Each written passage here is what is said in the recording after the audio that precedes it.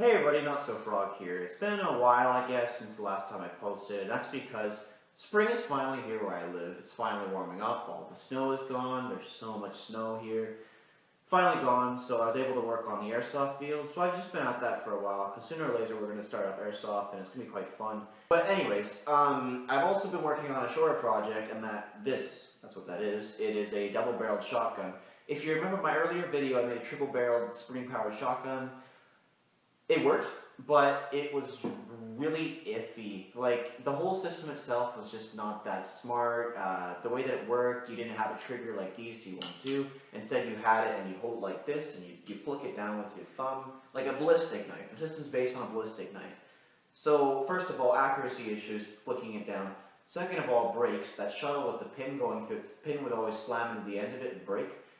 So yeah, this is basically just an upgraded version of what I've already made, and I'm really impressed with this thing. I really, really did like how the spring shotgun worked, I just didn't like the gun part of the spring shotgun. The springs themselves work great. This, it's double barrel format, it reminds me of Mad Max a bit. You got the double barrels like this, you can shoot one, two, I use my middle finger and my first finger, there's a bit of a gap between them. So one, two, or you can go two at once. The trigger pull is very hard, and that is because I didn't uh, want to go through the process of putting safety on this, and I believe that a hard trigger pull is a good safety because, hey, bootleg guns, so that's how it works. But yeah, no, I'll bring the camera up and I'll get a bit closer to the details and show you what I mean by the smartest build to date. So as you can see, it's not the prettiest thing ever. This is ugly, this is ugly, this is ugly. External rubber band for the triggers, pretty ugly. But it is very cool though, without a doubt. The system itself I'm very proud of. As you can see, there's bolts here, and this is holding together the whole system, or the whole handle, sorry. And the handle is made from five layers of six millimeter plexiglass, and I just chose that because it just makes things simpler. You can see these here. This is based on a system, like a trigger system from a break barrel air gun. Uh, it's a two-stage, so this pulls down that there, and you can see the sear on the end of it, just like that. Same thing on the other side, although this trigger's more like ahead of it. This one gives you a bit more leverage, so it's a bit uh, better of a pull. Um, these are in here, and if you remember the last gun that I had, there was a flick system because it's kind of hard to get that spring working. This time we still have the aluminum shuttles, but they're actually attached directly to the spring and not just free floating like the other ones.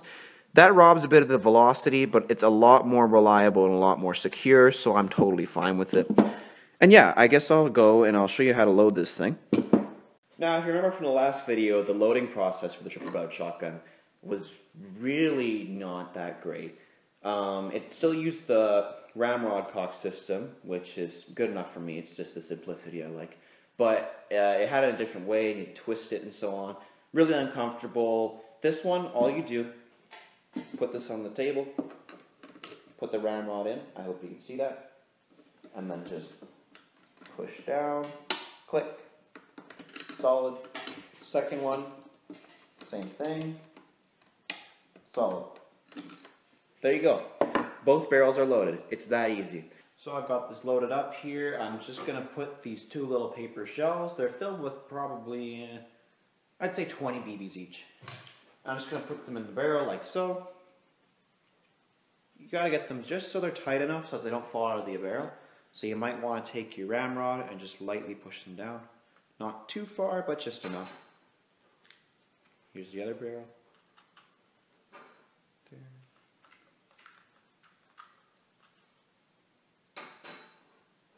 That should be good. So anyways, I'm going to take a shot at both of these. And the first shot will just be right there.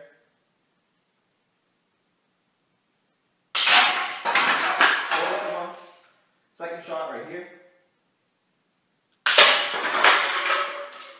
Now I've got this loaded up, and I'm just going to drop two of these wax slugs in here.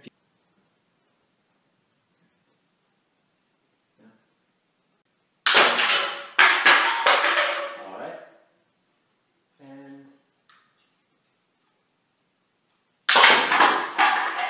Now, I got these, uh, let's call them buckshot loads. These are like two times the size of the normal load. I'm going to put one into each barrel I'm going to take a step farther away and I'm going to shoot that milk jug and the stack of three cans. Nice. Okay, how about that one?